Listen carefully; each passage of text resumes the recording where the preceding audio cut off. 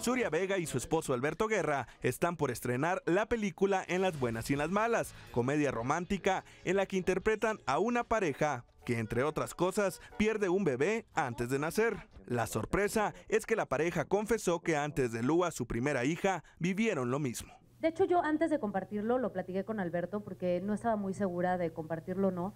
Pero cuando yo abrí el canal de Soy Mamá, justo mi objetivo era hablar de temas que no se hablan y decir, a mí me pasó, yo perdí un bebé y no pasa nada.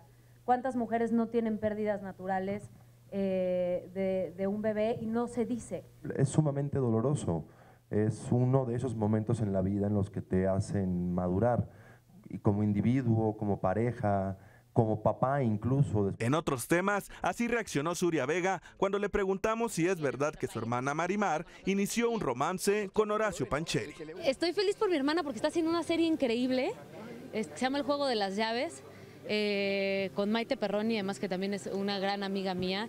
Eh, yo la veo muy bien, pero yo no hablo de la vida de nadie. Eh, no voy a hablar de la vida de mi hermana por respeto a ella. Ya, ya la verán ahí en la alfombra y le preguntarán a ustedes lo que le tengan que preguntar. En las buenas y en las malas se estrena el próximo 15 de marzo y también cuenta con la participación de Macarena Chaga, Cristian Chávez y Natalia Telles.